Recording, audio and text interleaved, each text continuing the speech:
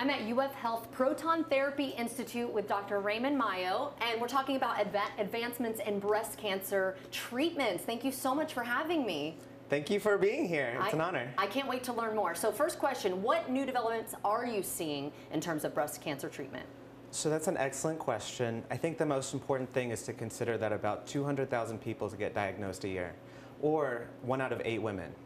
And so in order, if we're talking about some type of treatment, the, first thing that we need to do is personalize it. Mm-hmm. So the big evolution that we've seen over the last decades is not a one-size-fits-all cate- category of treatment, Right. because that wouldn't be fair, but really how do we treat the individual patient in front of us? Yeah, I mean, who doesn't want a customized, you know, personalized approach? Yes. You kind of need that, right? What about advancements in radiotherapy specifically?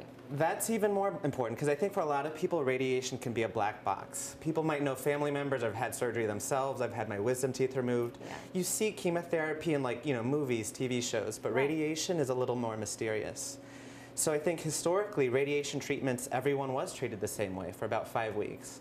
But now we can understand as opposed to treating not only the breast or the chest wall, and there's also lymph nodes nearby. Right. In some cases, you only need to treat the area of the tumor, or in some cases, you might benefit from a different type of radiation, like proton therapy. Well, let's talk about that then. Why would that be something that somebody would want to choose over the, the old method, I guess? So I'm so glad you asked because this is actually what I bring for my patients. Um, so conventional radiation that's actually used to treat cancer uses X-rays. So if you've ever had an X-ray or a CAT scan, Right. that's the same thing. It's just at a higher energy. Okay. And X-rays and CAT scans work for us to be able to see the muscles, to see the bones, because X-rays pass straight through something. So let's say that this is a person, and the blue is the tumor, and that's the area that we want to treat. But the yellow is the example of something like the heart or the brainstem or an important organ that we want to avoid. That's very nearby. Correct. Okay. And when we think of the breast cancer, especially on the left side, you can think that the heart is on the left side of the chest, Mm-hmm. and we want to try to protect this as much as possible. So with conventional radiation, if we were to go in a straight line, we're doing our job by, in order, by delivering radiotherapy to the actual tumor, but behind it, what we want to do is minimize the radiation to that highlighter, which is the heart.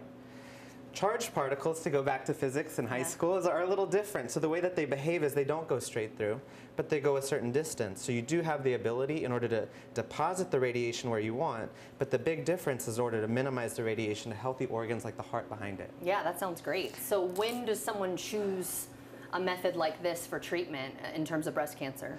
So, excellent question. We particularly see benefits whenever we need to treat, you know, patients who have tumors on the left side, any times that we need to do comprehensive treatment involving lymph nodes.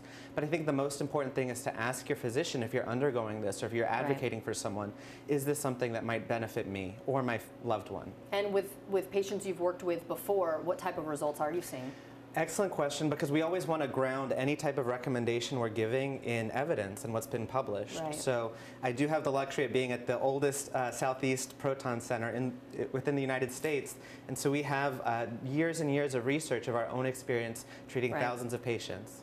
And what about certain types of breast cancer? Does it cover all of it? So good question. I think you know there's specific. Uh, Technically, not only breast cancer, but we do treat a lot of other malignancies. Um, you know, pediatric cancers, brain cancers, prostate cancers. I also specialize in lymphomas. So I think again, another recommendation I would provide for any patient or any loved one who's trying to advocate for their patient, it, it always helps to ask for an opinion. Is this something that could help me? Is this something that could help my loved one? And maybe people have never even heard this before, and now they have the tools and resources. Thank you so much for uh, telling us all about it. I mean, it's very impressive. Thank you for providing awareness. I think that's the most important thing. Yeah, of course. And if you'd like to see this segment again, you know, you can head to our website at firstcoastliving.net.